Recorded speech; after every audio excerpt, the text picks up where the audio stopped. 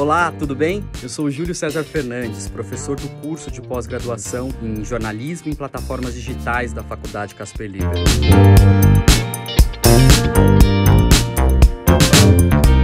Atualmente eu ocupo o cargo executivo na Globo de produtor de tecnologia para jornalismo. Bem, a disciplina que eu leciono na Casper se chama Narrativas Transmídia, Interativas e Imersivas. Uma disciplina que une teoria e prática, e é isso que eu acredito, sabe?